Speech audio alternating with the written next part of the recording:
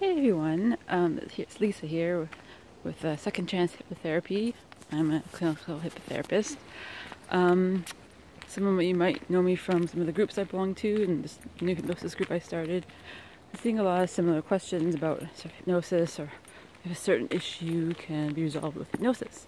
Answer the question, yes. Any habit you want changing, that you don't know why you're doing it, or any, any emotional issue medical issue that as long as you've been to your doctor and you're not able to get any results or anything like that from uh, chronic pain, what else? Uh, sleep disorders, anything. Also, things like procrastination is a big one.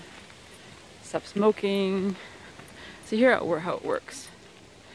Uh, we have our subconscious mind. We have our conscious mind.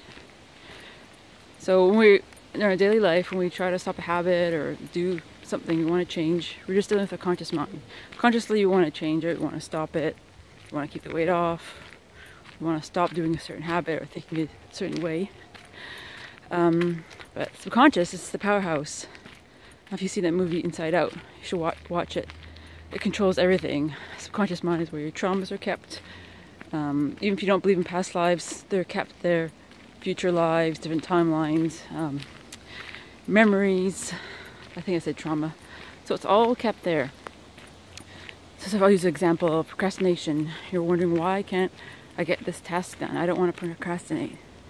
There could have been a situation or event in your life. Something happened unrelated to this task. And it's running a loop, like a record player. So it, that that moment is stuck in that time that time of your life, or it could be a past life.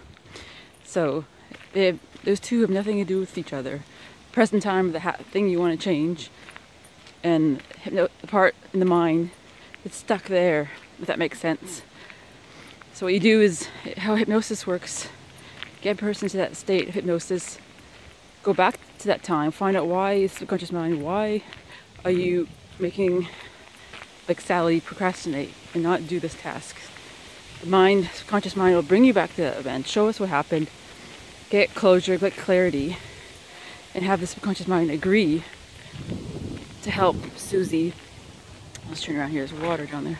Um, get Susie to get the mind, get the subconscious mind to take on this new role. Uh, from now on, help Susie be on time for work. That's kind of how it works. It's basically, it's like your mind's like a computer.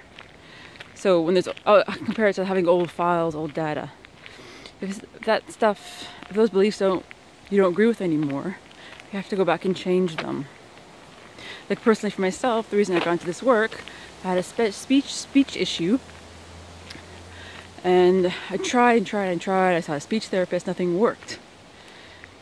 Well, when I had many sessions, what happened was many actually lifetimes, either uh, for speaking my truth, I was burned at the stake, I was hung, I was killed.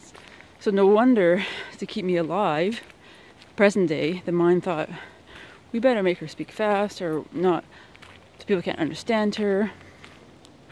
So the subconscious mind has no clue that we're in 2017, not like 1600s. So that's basically how it works. It's pretty amazing stuff. Um, yeah, so I just want to do a quick video and explain that. Hopefully that was clear. The mind can be, hypnosis can be kind of complex, but the bottom line, it works once you get back, go into that sub subconscious state in hypnosis and find out why the subconscious is doing those roles and change them. Because the subconscious is on your side, it wants to help you. So we got to get everything, the conscious mind and the subconscious on the same page.